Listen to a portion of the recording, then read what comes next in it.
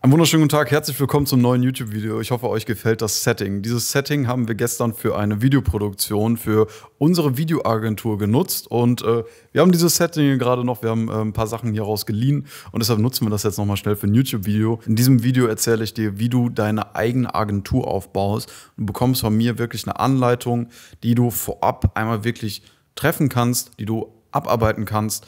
Und falls du genau diese Anleitung per PDF haben möchtest, schreib es mir per Instagram und dann schicke ich dir die sehr gerne durch. Und ansonsten viel Spaß mit dem Video. Cool. Warum kann ich dir das erzählen? Warum kann ich dir zum Thema Agenturaufbau was erzählen? Meine Journey ging so vor sechs, sieben Jahren los mit Thema Fotografie, Videografie.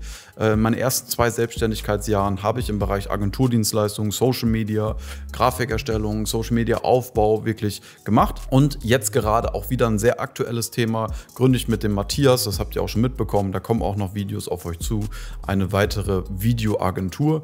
Und da haben wir selber diese Theorie und diese Checkliste sind wir durchgegangen und das hat uns sehr geholfen. Das kriegen auch alle meine Kunden, das gehe ich auch mit meinen Kunden sehr individuell eins zu eins durch im Bereich Organic Playbook. Let's go, lass uns starten. Grundlegend haben wir wenn wir es da mal in Säulen aufbauen möchten, vier Säulen, die sehr, sehr wichtig sind für dich, wo du am Anfang wirklich den Fokus drauf legen solltest. Wir starten mit dem ersten oder mit der wichtigsten Säule am Anfang überhaupt. Das ist die Klarheitssäule. Das sagt der Name einfach schon. Du sollst dir im Klaren einfach sein, wer du bist, was du für ein Angebot hast, wo du unterwegs sein sollst, welchen Kunden du wirklich akquirieren möchtest, wo du die Kunden findest, wie du dich positionierst. Da habe ich schon ein paar Buzzwords quasi schon gesagt. Heißt, Step 1, wir möchten für dich eine Zielgruppe definieren. Das hast du schon hundertmal gehört und ich weiß, dass du kannst es irgendwann nicht mehr, kannst es irgendwann nicht mehr hören. Aber einfach, um dir ein, äh, ein Beispiel zu geben, hätten wir jetzt in der Agentur hier keine klare Zielgruppe, dann hätten wir vielleicht ein Autohaus, einen, einen Bäcker, einen Coach, und irgendwie wissen wir gar nicht, wo wir richtig anfangen sollen mit der Akquise, wo wir mal anfangen sollen, in welches Netzwerk wollen wir uns irgendwie begeben, wo wollen wir uns connecten. Und das gibt dir halt selber einfach diese Klarheit an den Tag, jeden Tag, wo komme ich an wirklich neue Kunden und wer ist denn überhaupt mein Kunde und wie komme ich da wirklich hin. Und wenn du das nicht hast, dann steppst du so ein bisschen im Dunkeln. Du bist dir einfach unklar und der ganze Alltag ist irgendwie nicht so straight. Das ist super wichtig, dass du da eine Zielgruppe definierst, ein, eine direkte und eine indirekte Zielgruppe und einen Zielgruppenavatar. Du kriegst die PDF, wenn du die willst, schreibst du mir da auf Instagram. Daraufhin ist es super wichtig, dass du halt das für dich einmal klar definierst. Das muss nicht mal groß nach außen krass kommuniziert werden, dass du nur Steuerberatern hilfst, sondern da ist es einfach für dich, dass du einmal eine direkte Zielgruppe für dich hast, wo du einfach genau weißt, wo gehe ich an den Tag, wo ich am Tag, wo gehe ich da hin, wo akquiriere ich, wo gehe ich auf Social Media, wo, ich, wo gehe ich auf LinkedIn hin, dass du für dich einfach wirklich diese Klarheit an den Tag legen kannst. Step 2 sind natürlich Angebote und Preise genau für diese Zielgruppe finden. Wir möchten ein Angebot finden, schau dir das letzte Video an zum Thema Finde Kunden mit, äh, mit Zahnschmerzen, wo diese Kunden oder diese Zielgruppe wirklich ein Problembewusstsein hat. Wenn wir zum Bäcker gehen und sagen, ey, wir möchten ein Video und die brauchen eigentlich kein Video, deren Geschäft läuft und das wäre einfach nur ein Bonus, wäre ein nice to have, dann ist dieses Problembewusstsein nicht da und dass die, okay, wir wissen, wenn wir Videos produzieren, Content-Videos produzieren, Image-Videos produ produzieren, dass da immer wieder neue Kunden auf uns aufmerksam werden. Dass sie selbst dieses Problem kennen oder dieses, diesen Bonus einfach für sich schon genutzt haben. Heißt, wenn du eine Zielgruppe findest, die dein Produkt kennt, sehr gut. Wenn die wissen, wie die dein Produkt selbst in deren Marketing nutzen können, sehr viel besser. Und wenn die einfach wissen und der, allein schon eher auf der Suche sind nach, nach einem Partner, dann hast du da eine richtig geile Zielgruppe gefunden. Und das ist ganz, ganz wichtig, Zielgruppe und daraufhin auch ein passendes Angebot definieren. Step 3, eine Positionierung definieren. Ich weiß, das hast du auch schon tausendmal gehört. Für dich einfach selbst wichtig, auf Social Media soll ein vernünftiger Auftritt live sein. Soll ein Auftritt da sein, wo du ganz genau weißt oder wo du ganz genau kommunizierst, für wen machst du was, für wen kommunizierst du, mit wem arbeitest du, mit wem, wem möchtest du weiterhelfen, wem kannst du wirklich weiterhelfen. Heißt, da geht es einfach ganz genau darum, diese drei Punkte, Angebot, Zielgruppe, Positionierung, das hast du tausendmal gehört, aber wenn du es gerade nochmal dieses Video angeklickt hast, dann gehört das zu den Basics. Da geht es einfach wirklich darum, wo finde ich meine Zielgruppe, wenn ich vertrieblich aktiv bin, wo ich marketingtechnisch aktiv bin. Wo finde ich meine Zielgruppe? Das macht es wirklich sehr viel einfacher. Wenn ihr euch nicht hundertprozentig im Klaren seid, ob diese Zielgruppe euer Produkt braucht, müsst ihr eine Marktforschung machen.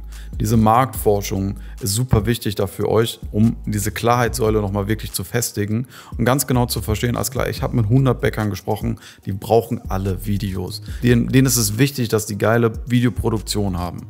Die kennen das Produkt. Oder genau im Gegenteil, sondern ja, die, bei denen läuft's. Die brauchen keine Videos, alles klar. Dann muss ich da jetzt auch nicht reingehen. Ich muss jetzt richtig, ich muss jetzt keinen den ganzen Markt umändern. Ich muss gar keine Zielgruppe komplett informieren oder umdrehen, sondern such dir eine Zielgruppe, die genau dein Angebot kennt, die wissen, die das brauchen, die auf der Suche sind. Und das sind so die ersten großen Grundlagen, die super wichtig dafür sind. Dann habe ich in, dieser, in diesem Sheet auch noch drin, dass man selbst einmal einen Lebensrat macht. Schau dir das Video auch gerne nochmal an, schau da auf, dein, auf den Channel, das sollte online sein. Und einmal einen Businessrat, einen Business Journey. Dazu gibt es auch Videos hier auf diesem Kanal. Du merkst, es wird sich lohnen, diesen Kanal jetzt zu abonnieren. Und dafür hast du grundlegend erstmal einen klaren Plan, sagen wir mal zu 80% Klarheit für dein Geschäft, was völlig ausreicht.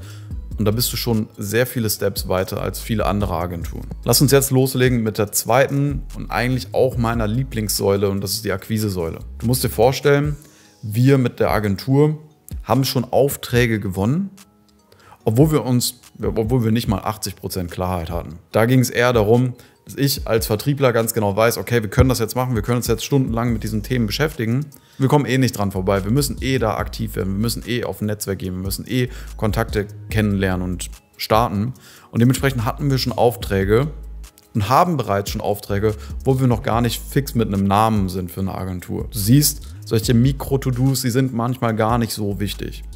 Heißt, lass uns mit wirklich einem ausschlaggebenden, mit einer ausschlaggebenden Säule jetzt starten, die Akquise- oder Sales-Säule, die dir wirklich Aufträge besorgt, die dir wirklich hilft, dabei Aufträge zu gewinnen, wo du wirklich Geld verdienst und deine, deine ersten Kunden gewinnst. Let's go mit der Akquise-Säule. Wir brauchen eine Tracking-Liste und wir brauchen eine Follow-up-Liste. Check, dazu sage ich nicht mehr. Step 2 möchten wir eine Kontaktliste erstellen.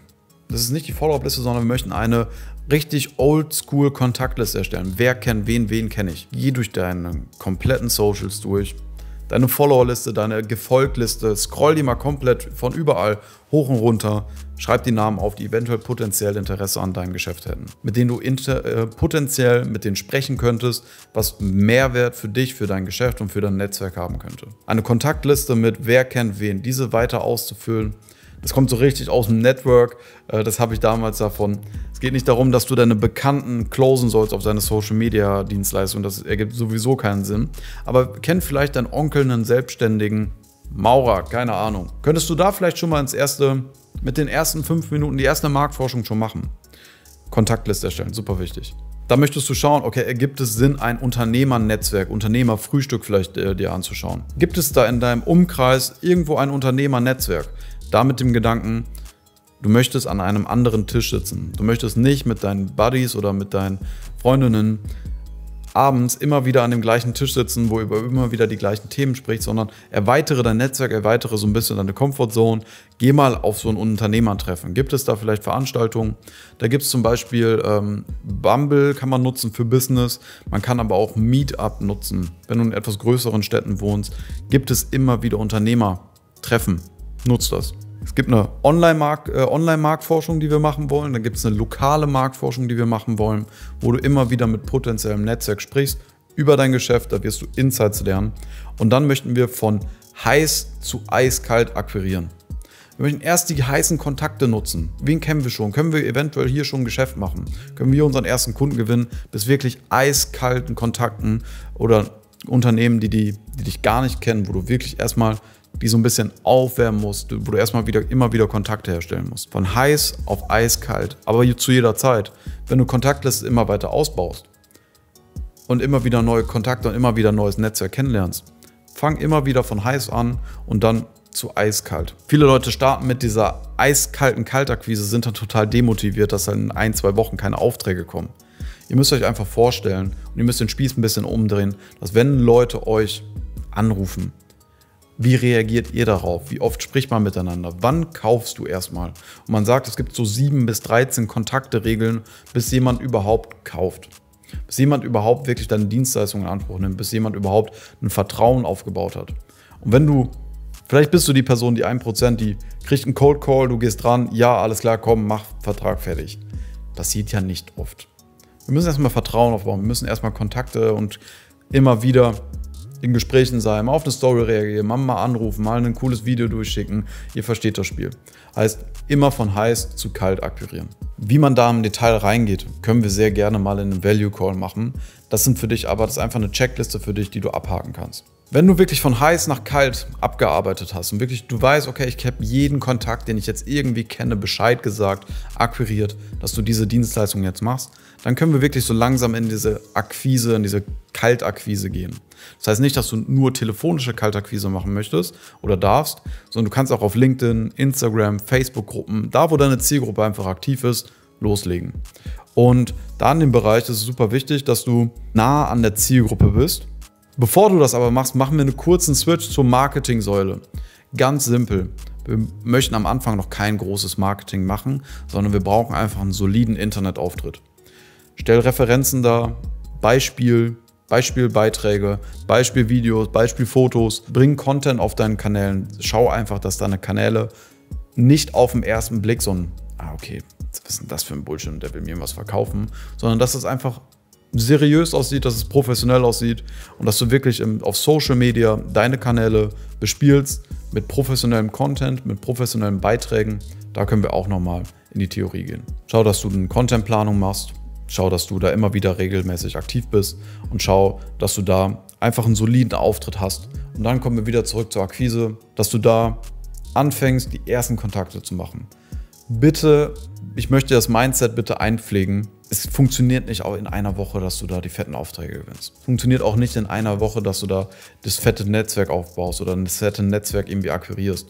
Sondern da ist es super wichtig, dass du dir selbst Zeit gibst, dass du selbst, in dem, selbst dir Geduld gibst, in der Akquise täglich immer wieder Kontakte, Kontaktanfragen zu machen, immer wieder ins Gespräch zu kommen, weiteres Netzwerk aufzubauen und du wirst wirklich merken, du kommst mit coolen Unternehmern wirklich ins Gespräch.